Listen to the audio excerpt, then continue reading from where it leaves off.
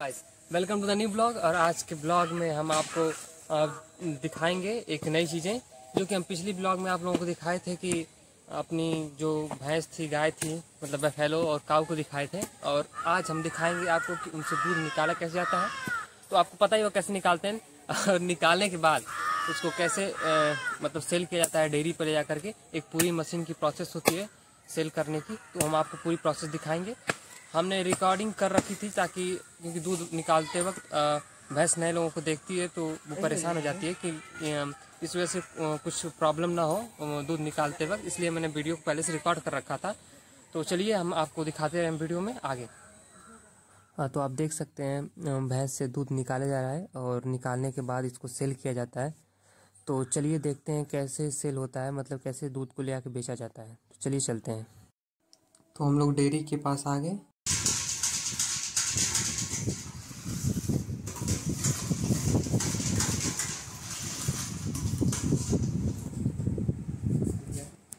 इसमें दूध ले रहे हैं और चेक करने के लिए उस मशीन में डालेंगे।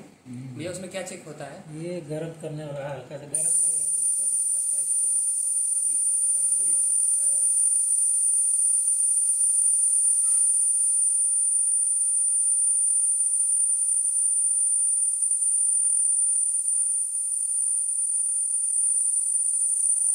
भैया वहाँ हीट हो गया आप देखिए इसमें डाल रहे हैं। इसमें क्या चेक होता है भैया? ये भी इलेक्ट्रोमीटर है। हाँ। और पानी जो होगा वो बताएगा। और जो जितना फैट होगा वो बताएगा। अच्छा। तो पास करो देखो उसमें दिखा रहा है टेम्परेचर ये टेम्परेचर है तीस दशमलव फाइव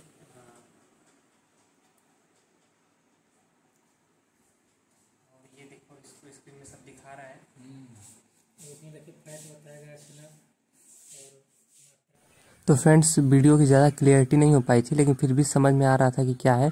तो ये मशीन है इसमें मतलब बता रहा था कितना फैट्स है कितने दूध में अगर पानी तो नहीं मिलाया गया कितने में मिलाया भी गए तो कितने मिलाए गए।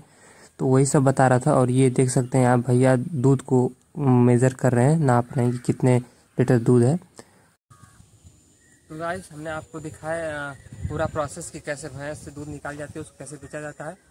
तो आई होप कि आपको वीडियोस पसंद आए होंगे ये वाला। और पूरा प्रोसेस अच्छे से समझ में आ गया होगा।